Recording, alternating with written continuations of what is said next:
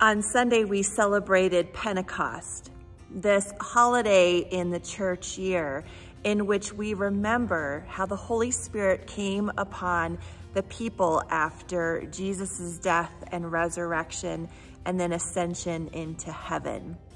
Now, it was such a scene that those who were outsiders actually thought the people that were gathered there were drunk. If you remember, the scripture in Acts shares about how it looked like people had flames above their head and their tongues were speaking in languages that not everybody understood. I've been reflecting on Pentecost a little bit this last week, thinking about how the Holy Spirit shows up in our lives. Now, obviously, most of the time it's not one of these big scenes, right? It's not one of these big spectacles that outsiders looking in are going, what is wrong with those people? Are they drunk? It's only nine in the morning. But the Holy Spirit does come upon each of us, comes upon each of us to bring us power, to empower us to have the words to be able to speak, just like those uh, first disciples, that empowers us to be able to go out and do the work of God. So a lot of times when I would do children's time with kids and we would talk about the Holy Spirit, I would have a fan sitting here. In the summer, it's a perfect time to think about the ways in which we cool ourselves off, how we feel that cooling presence within us. And so I would bring out a fan and with that fan, uh, I would sit it there and not plug it in, not turn it on, and ask the kids if they felt anything, if they felt that cool breeze upon their uh, faces. And of course they wouldn't. And so I would ask them, well, how come? How come you can't feel that power of the wind on you? And they would look around and they would notice that it was not plugged into the power source. So we'd plug it into the power source and not turn it on. And then I would ask them, okay, now, now what do you feel? Well, they wouldn't feel anything. And so we would problem solve again and they would realize that, oh, you have to turn on the fan. So there's a couple ways for us to think about the Holy Spirit in our lives. The first one is thinking about how we need to be plugged in we need to be plugged into that power source that brings out that power within us, that gives us that power to be able to move, to be able to work, to be able to do good in the world. But the second part of that, and maybe one of the most important parts, is that we have to turn on that power source.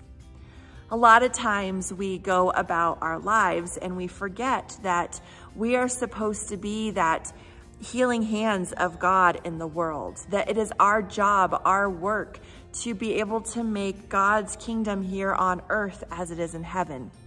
We figure that maybe that'll just happen or that our work really is just to come to church and not really to do that work. Well, we come to church to get plugged in, to have that power source available to us. But turning on that fan is going out into the world and actually putting our hands and feet to work. So it's two parts, being plugged into that power source and then turning that on as we go out into the world to make a difference. And if both of those things are happening, then the Holy Spirit will move, that change will happen. People will be able to see or feel a difference in the world around us. So this week we're finishing up the book series, Make a Difference. I hope it's been beneficial to you. I hope it has been a place that has helped you to think about the ways in which God is calling you to make a difference, how God has given you unique talents and gifts, unique life experiences, and a softening of your heart to be able to do this work in the world that is so desperately needed the work of justice, the work of um, peacemaking, the work of providing a space for love, uh, uh, the work of providing hope to people who are hurting. These are all different things that we can do. But oftentimes, uh, I don't know about you, but I can feel really overwhelmed. There are so much hurt if we really look around our community. There is so much pain, there's so much grief.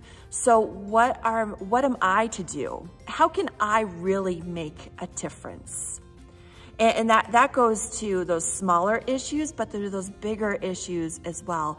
How can I really make a difference? Well, God tells us the story, Jesus tells us the story of the mustard seed. How if you just have the faith of a mustard seed, how you are able to do great things. Now, often we think of um, our purpose on earth is to do something huge, something uh, extraordinary, that we don't want to think about doing those little things, those little pieces that will help us and help our communities thrive. But if we look at the wisdom of many who have gone before us, if we look at the ways in which people have given over and over and over, it's about being obedient. It's about being obedient to God and, and to going out into our communities and making the small differences wherever we can. Mother Teresa, she often reminded us that we are called to do small things with great love.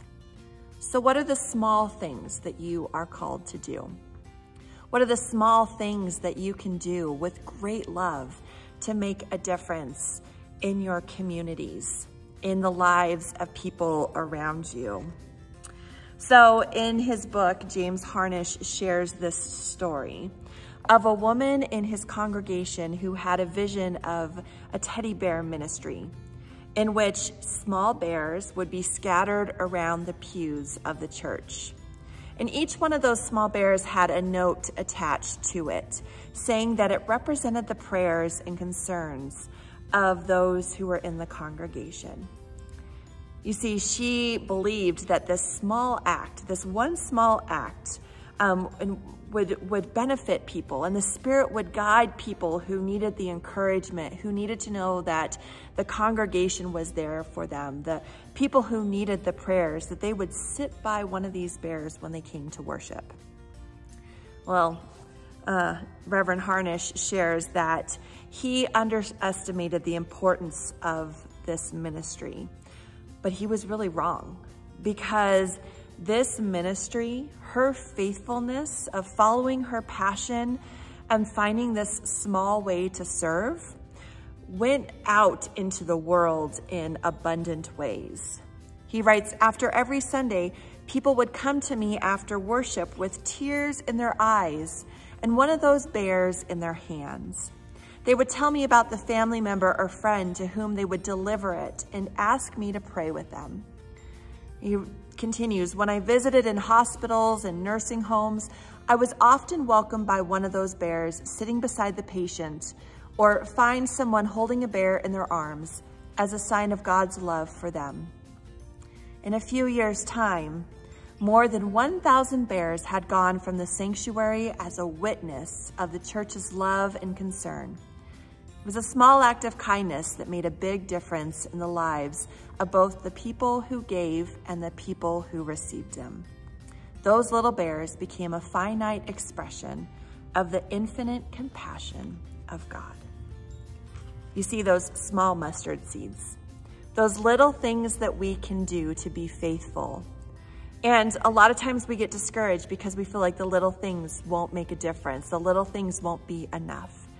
But that is exactly what God is calling us to, being obedient to the little things, the little ways in which we can share God's power and love in our communities and help change just one life, one moment.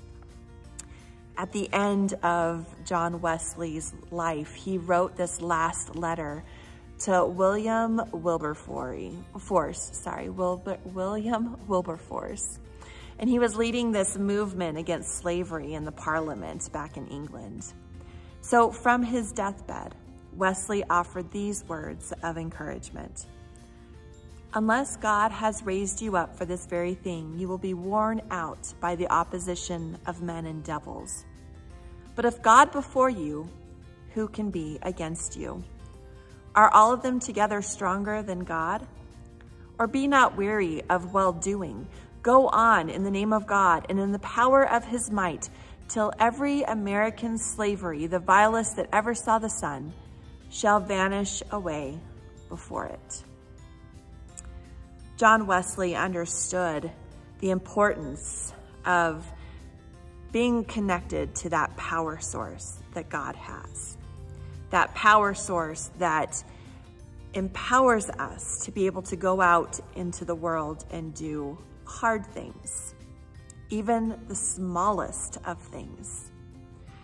John Wesley understood that we have to be connected to that power source because there's no way that we can do this work on our own.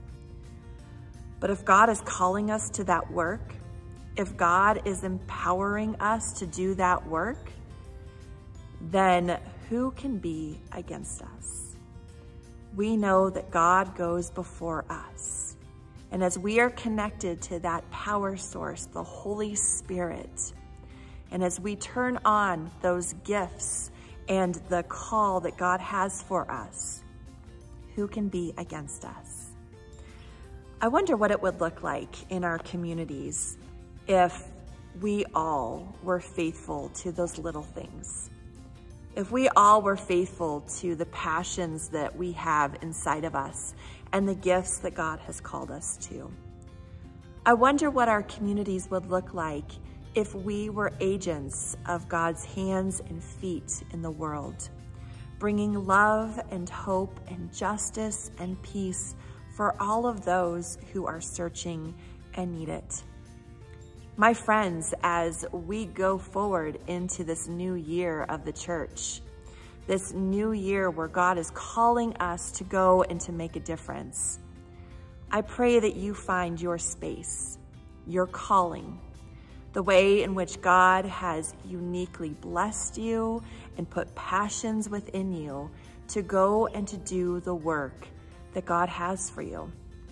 And I pray that the Holy Spirit will lead you, will guide you into those new spaces, will give you wisdom in how to be able to accomplish far more than you could ever imagine. And I pray that you will stay plugged into that power source, to the Holy Spirit who is empowering you to go and to make a difference in our world. Amen.